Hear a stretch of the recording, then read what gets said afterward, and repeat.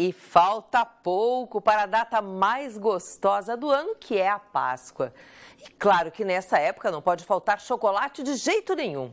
Hoje a variedade dessas delícias é muito grande e os ovos de colher, aqueles que são recheados, seguem sendo os queridinhos, além de virar uma renda extra para muita gente.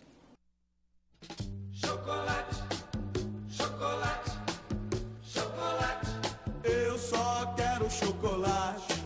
Hum, tem quem resista a essa maravilha? Difícil, não é mesmo? E nesta época do ano, a produção de ovos de Páscoa aumenta. Como os tradicionais ovos estão mais caros a cada ano que passa, os ovos de colher, que já foram um sucesso nos anos anteriores, continuam conquistando o paladar de muita gente.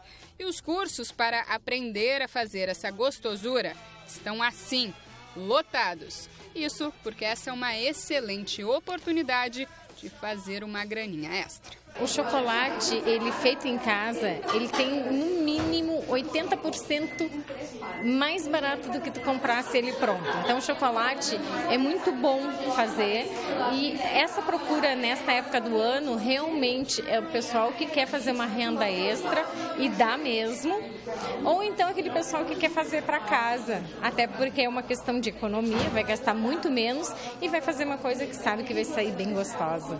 Neste curso, as alunas puderam aprender técnicas de derretimento e temperagem de chocolate, além de confeccionar os ovos e os recheios. E todas colocaram literalmente a mão na massa. Eu acho que a prática é o que nos aperfeiçoa.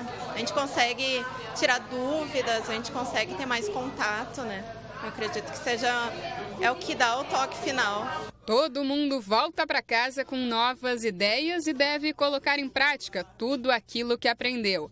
E claro, terminar a Páscoa com um dever cumprido e dinheiro no bolso. Então, seja para vender, para presentear ou até mesmo para consumo próprio, ovo de colher com certeza vai deixar todo mundo com água na boca. Eu só quero chocolate.